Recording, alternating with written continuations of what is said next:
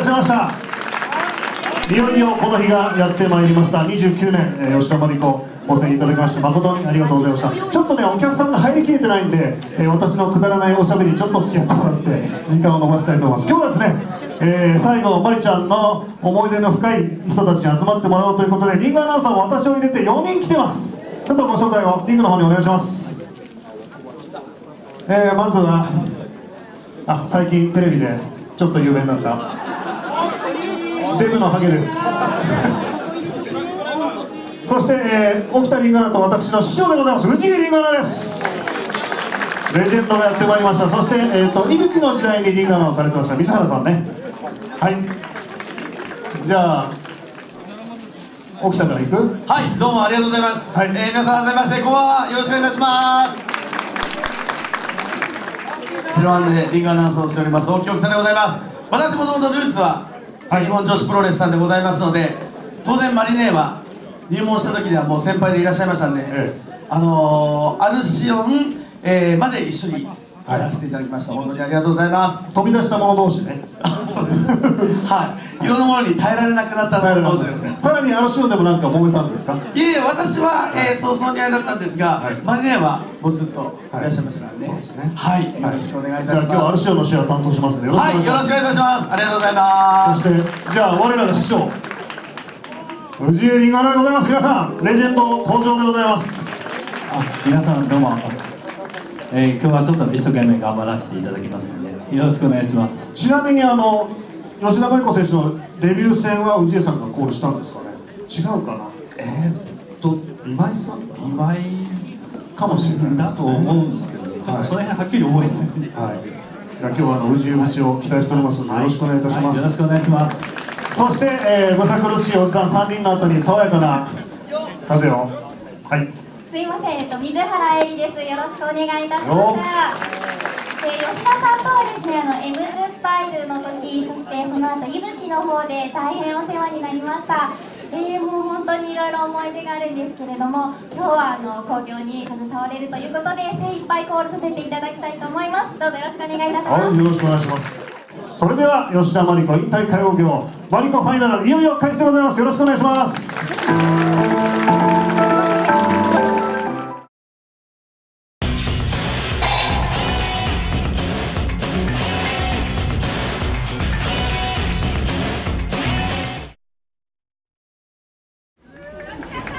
試合天井メモリアル6人タグマッチ15分一本勝負を行います。行い132番の吉田マリコ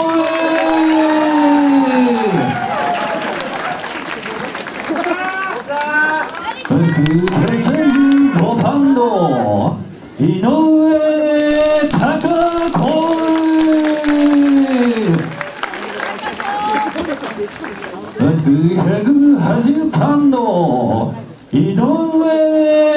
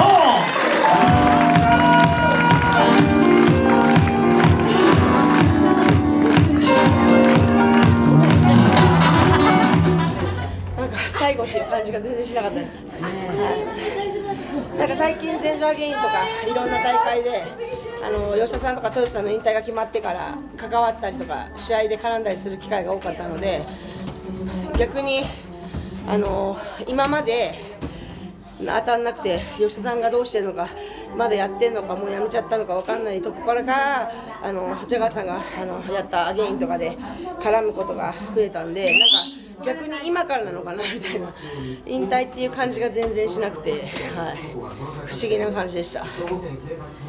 うん、なんかあの故障が多くてあの休場してる期間が長くてなんかこのまま引退してしまうんじゃないかっていう時にあった時にやっぱりあのさりげにフェードアウトするんではなくてちゃんとこう自分でピリオドを決めてっていうことでそう伝えたらやっぱ引退を決めてその引退の後にやっぱりいろんな試合にチャレンジした方がいいっていうことであの結構試合が多く出るようになったので絡むことも多くなってちょうど調子が良くなってきたなっていう時に、まあ、引退の今日になってしまったのであのとても残念なんだけどもやはり今の選手もう無理だからと思ってやめていくんじゃなくってやっぱ自分で見切りのついた時にやめていく人も多くなってきてまあ私は送る一本になってしまってちょっと悲しいなとは思うんですけれどもまあ第二の人生をもう決めているようなのであの健康で引退できてよかったなと思うこの頃です。 It was a it was a true honor to be brought back for this match. Um, you know, I've never worked with uh, Jaguar Sun, so that was that was quite quite nice to be able to work with you. Thank you. Thank you. And uh, being in uh, Yoshida Sun's last you know, retirement match is, is a special thing for me. So, first time I've ever given up in a match too. So that's that's quite a a uh, landmark in time. So, but I'm very honored to be here today. So thank you. なんなんていうんだっけこういうの？感無料吉田さん泣いちゃダメだよって言ったらでもあなたとはもう最後だからって。泣か泣かせんじゃねえっつって、はい、まだ吉田さんと何試合かあるんで、あれですけど。ねわ私たちはもう最後だったね、最後だった、うん、なんか吉田最後まで吉田らしいというかね29 29周年なんですよ私たち来年になれば30周年なのにそこまで一緒に頑張ろうって言ったら、ねいきなり「え引退するから」って。言われて突き放されちゃったよね、なんかね。うん。うん、まあ吉田らしいっちゃ吉田らしいですね、はい。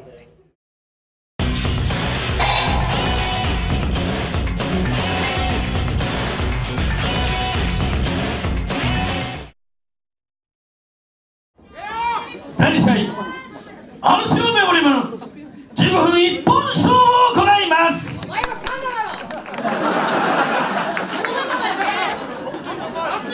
青コーナーライセンスナンバー75メリーサ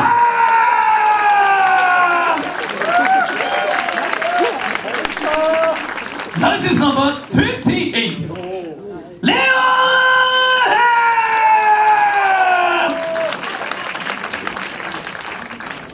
初代クイーン・オブ・アルシオンチャンプライセンスナンバー2吉田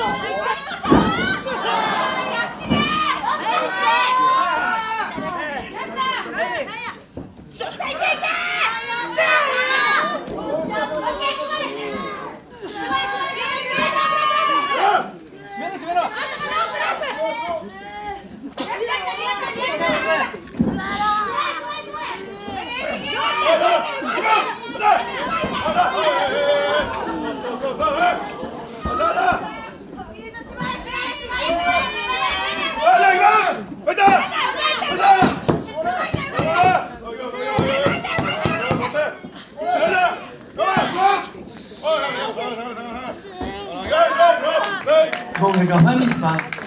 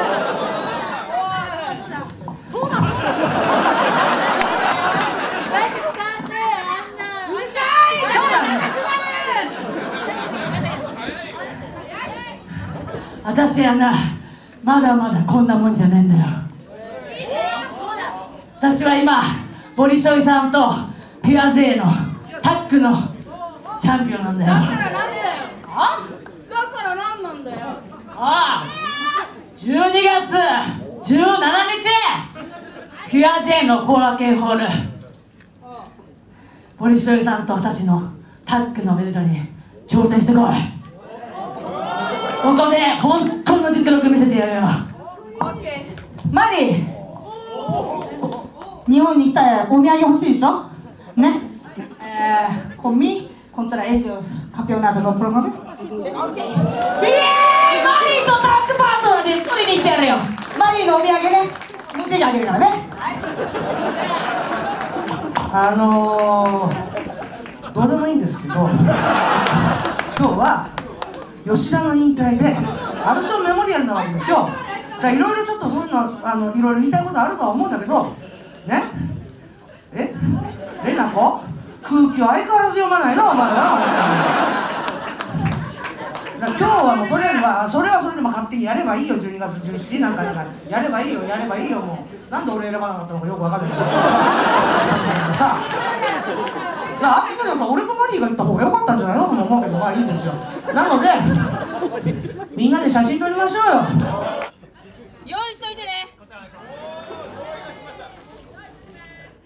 いやあの吉田さんの引退を聞いた時にいや聞いてないよと思って腹びちしたで聞いてないよと思って吉田さんに直接あの直談判しました。あの自分このまま引退されちゃうと一生悔いが残るので最後だけは絡んでくださいと。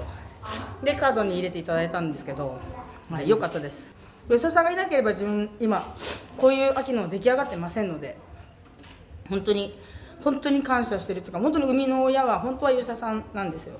アルシオンって団体でしたけど吉田さんが産んでくださった秋野なので Bueno, eh, yo me encuentro muy feliz porque regresé a trabajar con todas las que eran en la empresa donde yo me inicié hace 20 años en Japón. Y yo fui fiel testiga de cómo Akinito entrenaba siempre con Yoshida. Siempre, siempre. Y, y aquí están los resultados, una gran estrella Aquino. Y muy felices de hoy eh, poder compartir el- su última lucha. Y más que salido de Aquino, de Aya, de Aya. Y está, humilde servidora con ellas. Son unas estrellas aquí en Japón. Gracias. Gracias.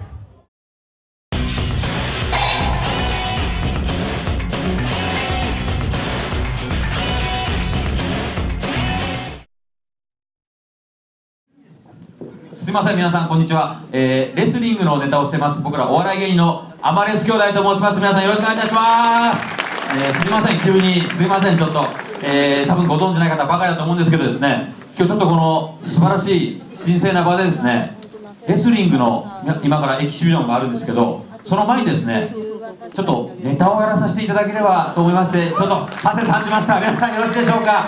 すいません、えっとレスリングのネタっていうのを本当やってる方がいらっしゃらないのでせっかくなので今日ちょっと僕らレスリングネタをやろうと思います。ではちょっと皆さん温かい目で見ていただければと思いますね、えすいません。急に急にですけどね。あグえ頑張って。ありがとうございます。頑張るって言っても笑い取る方なんであんまり動かなくて大丈夫。ゆっくりやりたいと思いますんでね。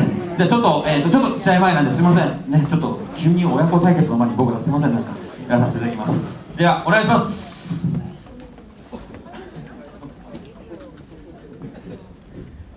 レスリング広島県インターハイ出場選手アマレス兄です。レスリング埼玉県地区大会4人中2位。暴れス太郎です。レスリングのソウルオリンピック金メダリスト。電話ボックスに金メダルを忘れたことでもおなじみ小林隆選手とスパーリングしたことあります。アマレス兄です。女子レスリングの吉田沙保里伊調香織を輩出した名門至学館大学に現在通っている学生と喋ったことがあります。暴れス太郎です。二人合わせ。アマレス兄弟です。では、えーちょっとまずネタをやりたいと思います、えーまずですね皆さんが女子レスリングなどを見ていてよく見る光景をやりたいと思います、えー女子レスリングオリンピックなどで試合後優勝した後に選手とセコンドが喜びをやるんですけど女子レスリングならではの独特の喜びの表現法というのをやりたいと思います。なので僕が、えー女子選手こちらがセコンドの酒井監督がやります。ではいきます。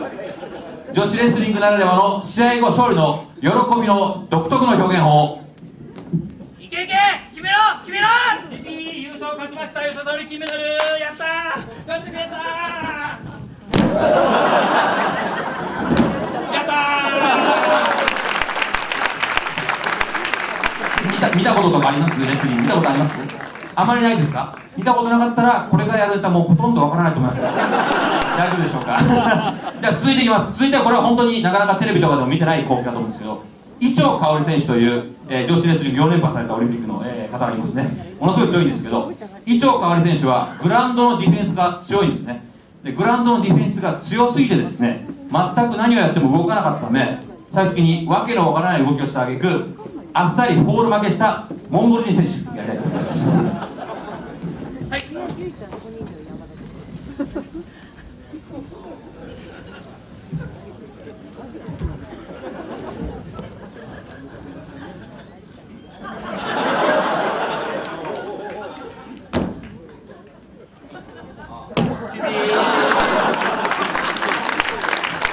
ありがとうございますありがとうございます広島の方もいらっしゃってありがとうございますでは続いてはですね最後になりますね、えーレスリングコントというのをやりたいと思います、えーこれは僕らは練習中に、えー実際あったコントなんですけど練習中におけるですね僕は先輩役やります。先輩の厳しい練習なんですね。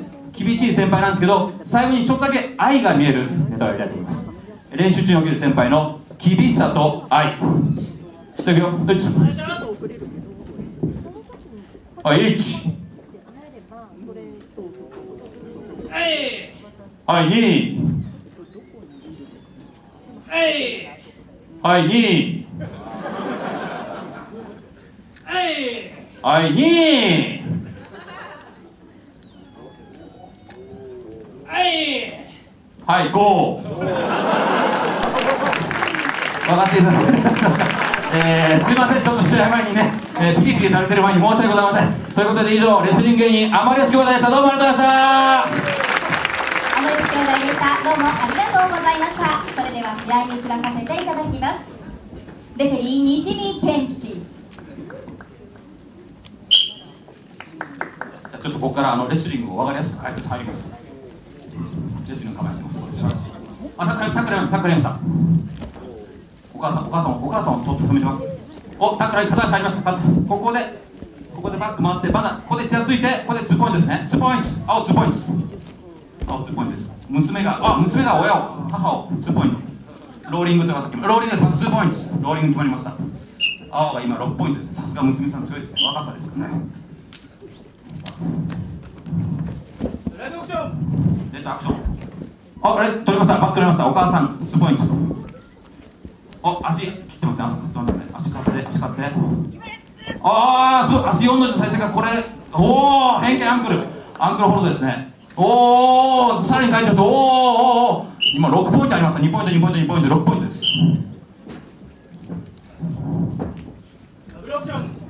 ブルーアクション。ブルーか片片足片足片足から。おお飛行機投げ4ポイント4ポイント。1分経過1分経過。青4ポイントです。ここから足を絡めてこちらもまたアンクル入りますか。おおアンクル。おお粘った。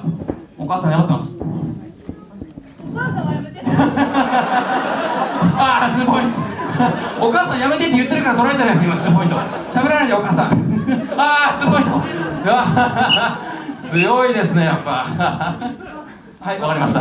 なんて言いましょうかねマダムとかにしましょうママママ頑張って。でも僕青チェコなんああタックル入った。やっぱすごいですねそこはやっぱ。さあ今度娘さんが。娘さん。さあおここから。あ出たこれ。和田スペシャル和田スペシャル。来ました和田スペシャル。さあここから。いやおおおおお引きずって戻して場外に出ないようにして。うわこれでうわ和田スペシャル2ポイント2ポイント。赤さらに2ポイント。赤2ポイント入りました。おおさらに返して。スタンド。2分経過残り時間1レフはア分トランタオリンピック代表の西見さんです。あ、高いんだ、ばっかり来ました。あ。バック取ったバック取った。おお投げた。4ポイント4ポイント。大技4ポイントですレスリングスタンドの状態から相手をね倒せば4ポイントになります。さあ。バックマッター2ポイント赤。あまた先ですね。これレスリングってまた先足でですね挟んで残りですね。30秒。相手をそらす。これホールドの体勢です。おお逆転。返したすごいな。返しておトーホールド。トーホールドから来ると思ったこれも2ポイント。あ2ポイント。時間もあガブリガブリ入りましたおおナイス！4ポイントあホール決まりました。強い。ゴールです。青コーナー成切琴音選手によるゴール勝ちです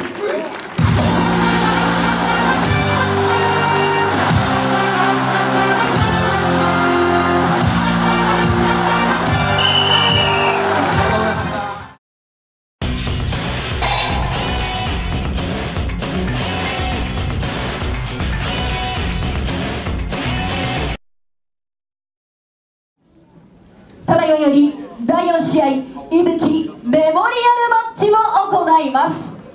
青コーナープロレスリングウェーブレジェンダリーウェーブウェーブにてシングルチャンピオン大畑美咲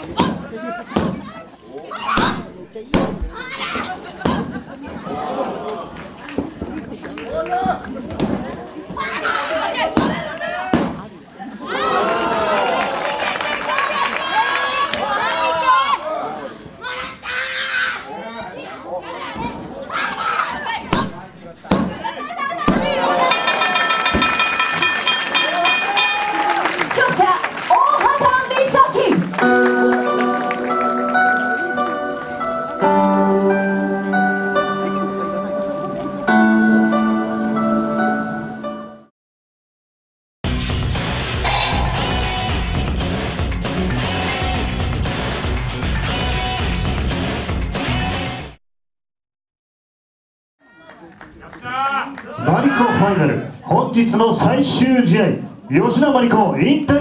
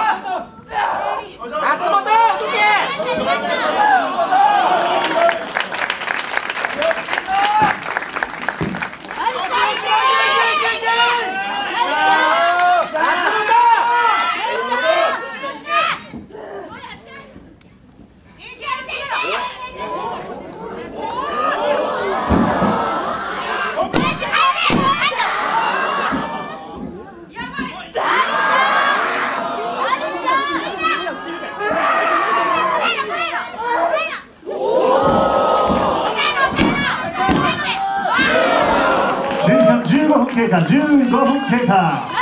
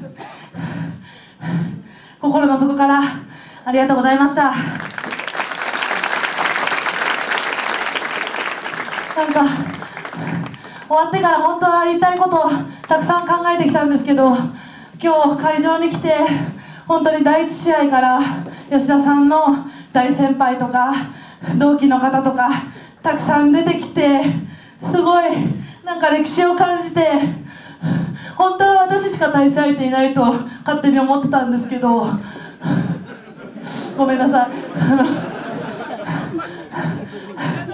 不安になったりするぐらいあの本当に第一試合から素敵な方々との対戦を見て尊敬とメインで対戦相手に選んでくれたことさらに感謝しました。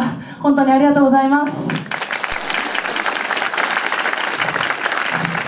そうそうそうだ。あの本当に多分何言うか分かんなくなってきたとなったなると思ってたんで今日は同期の大畑と一緒に手紙を吉田さんに書いてきました。皆さんと吉田さん聞いてください。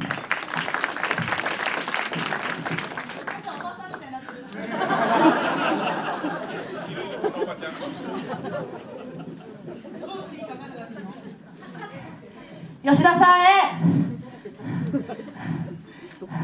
最後の対戦相手に選んでくださってありがとうございました。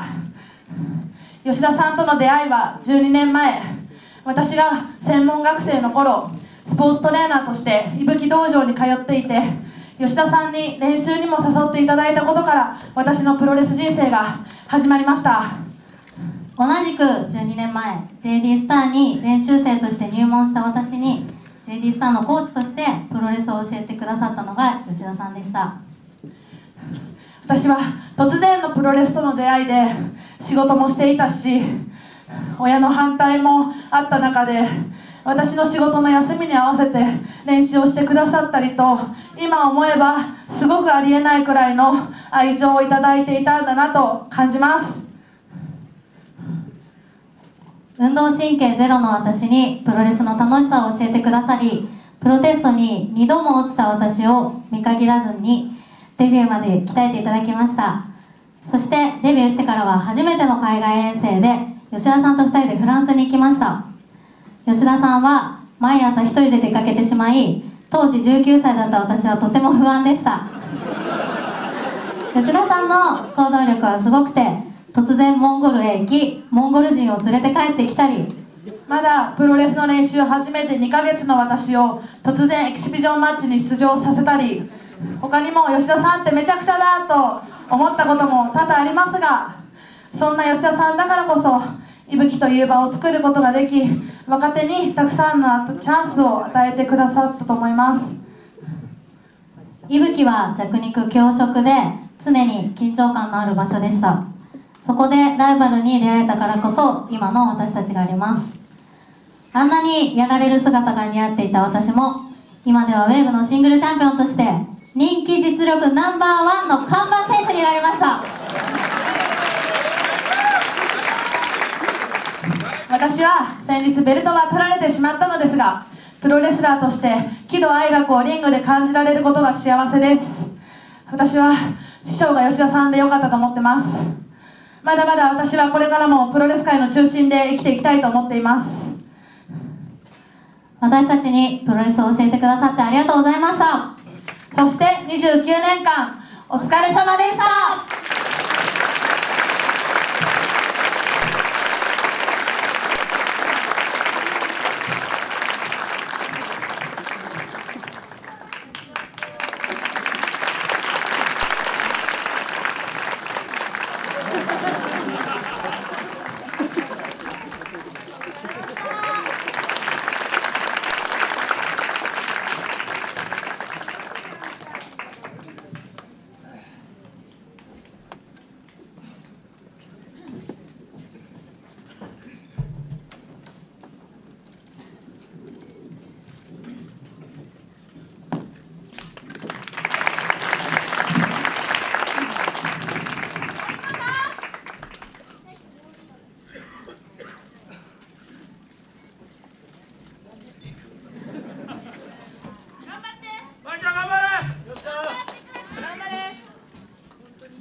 い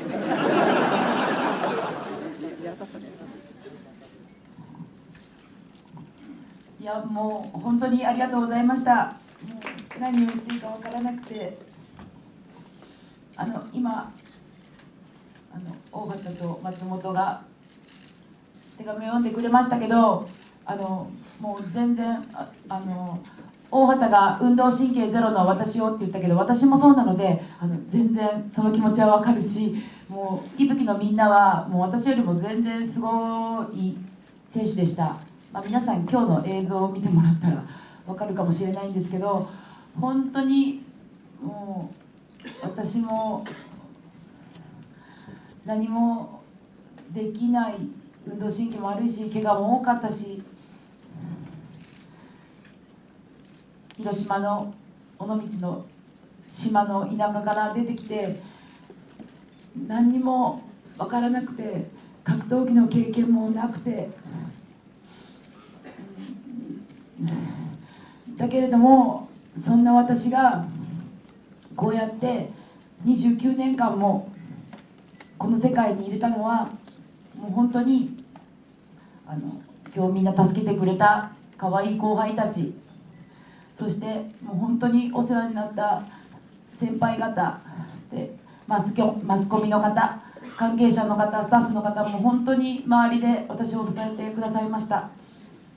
でそしてもう何よりもう今日会場に来てくださったお客様ファンの皆さんで今日会場に来れなかったかもしれないけどすごいずっと応援してくださったファンの皆さんのおかげです。もう皆さんの応援がなかったらあのもう本当にこんなに続けることはできませんでした。はい。もう本当に皆さんのおかげです。ありがとうございました。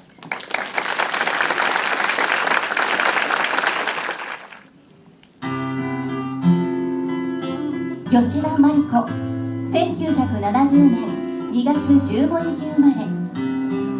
広島県尾道から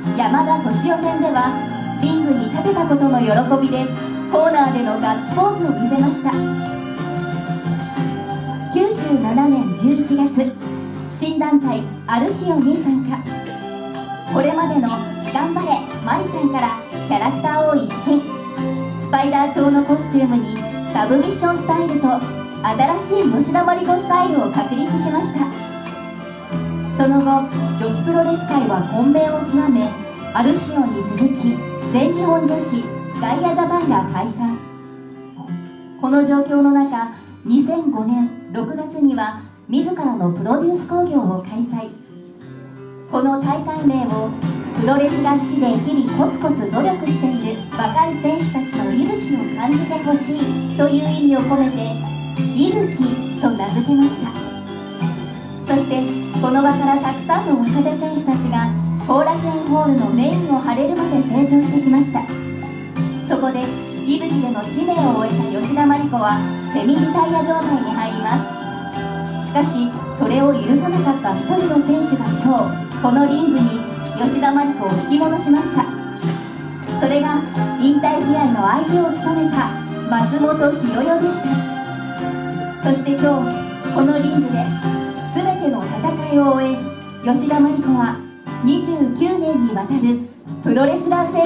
別れを告げます。誰からも愛され親しまれてきたマリちゃん。マリポーザ殺法もサブミッションアーティストもいつまでも私たちの胸から離れることはないでしょう。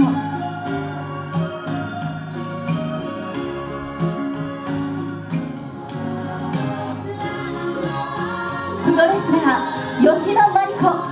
ここに集結。引退の10カウントゴングを行います。皆様ご起立の上リングにご注目ください。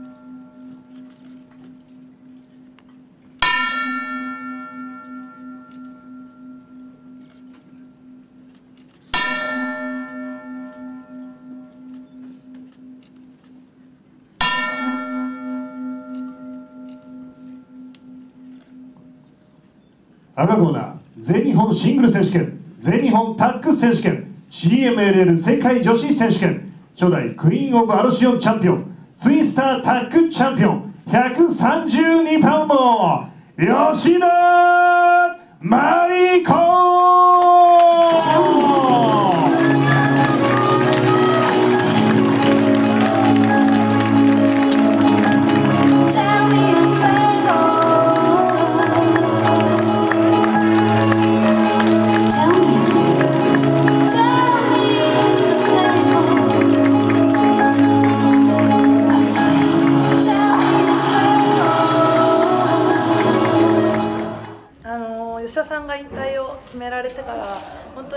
相手は自分しかいないって勝手に思っててでも今日名前を連ねてる先輩方々とか名前見たりとかなんか対戦とかを見たりして吉田さんの歴史を今日一日ですごく感じて吉田さんの歴史の重さとか深さとか幅とか広さわかんないですけどいろんなものを感じてなんかもう、はい、メイン名乗り出たのもおーって思うぐらいだったんですけど自分自身勝手に思えば本当に最後に最後で最初のシングルマッチができて本当に幸せだなと思いましたしその吉田さんの大きさを知った中での対戦だったので本当に今日はなんか12年間分の思い全てをぶつけられたのかなと思います。私は今プロレスラーとしてすごく幸せでプロレスででしかプロレスラーとしての人生しか想像できないんですけどそれはやっぱり吉田さんが師匠だったからこそデビューしてから本当に自由気ままにわがままに生きてきて先輩の言うことも聞かず多分本当に後輩にしたくないようなプロレスラーだったと思うんですけど私はその中でも吉田さんがそれを否定することなくずっと見守ってくれたりしてきたので今こうしてやっと自分の歩みたい道を見つけたし松本浩代の人生ってプロレスラーなんだって今は自信持って言えると思うので私はまだまだ吉田さんから勝ちを奪ったバックドロップロックドロップでまだまだあの女子プロ界の中心を歩み続けていきたいなと思ってます。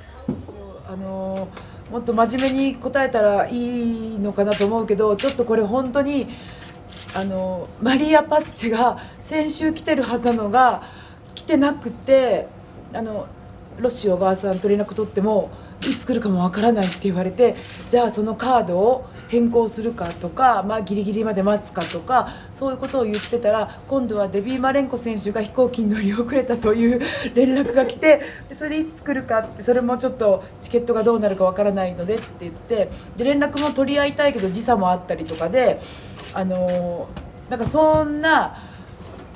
えー大会前の1週間そんなことであのいろいろあったのであっという間にこの日が来ちゃったという感じでした。かっこかっこいい言葉で言うとなんかプロレスって本当に愛なんだなと思いました。やっぱり受けがあって他の格闘技とかスポーツはいかに自分が強く例えば早く勝つとかだけどやっぱプロレスって受けがあるからうんなんかそれが不思議な、まあ、スポーツというか格闘技というかエンターテインメント。